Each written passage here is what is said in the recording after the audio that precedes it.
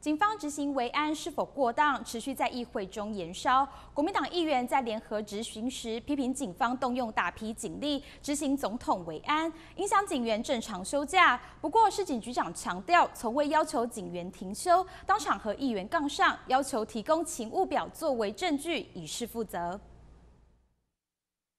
蔡总统南下高雄时，警方执行维安是否过当？国民党议员以七月十三号为例，指出反年改的陈抗人士只有二十人，警方却动用上千名警力，将一公里多的道路用巨马封锁，造成上班民众的不便。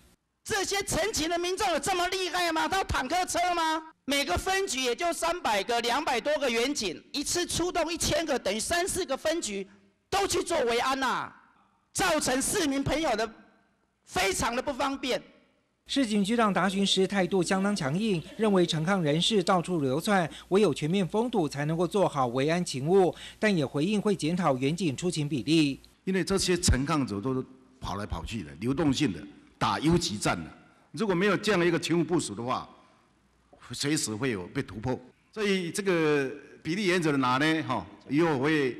会来注意这方面的一个一个一个比例。不过，国民党议员还是不放过，继续紧咬市警局为总统一人服务，把高雄市民当成暴民。远警也因此停止休假，抱怨连连。警察局长则否认停休一事，当场和议员起争执。我要求你把蔡总统只要有下来的所有警察的勤务的资料提供给本席。